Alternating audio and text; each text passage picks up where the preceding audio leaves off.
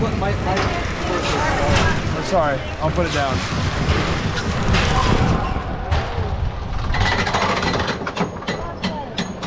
Let's go. First and maybe last ride ever for me on bobsled, and you. It might be Angela's last ride on her home park coaster.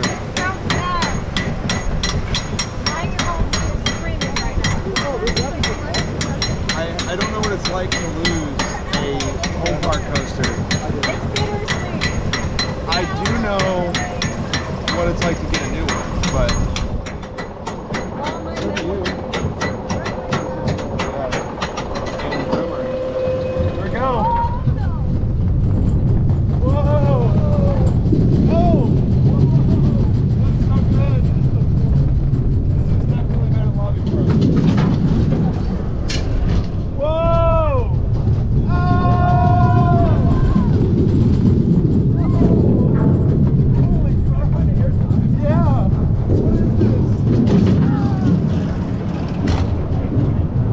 yes!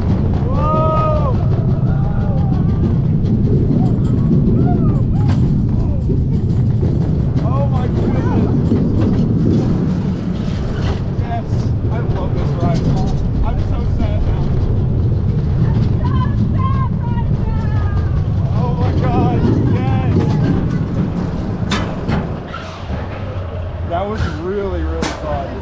I'm actually sad that they're closing it now. Way better than La Vibora.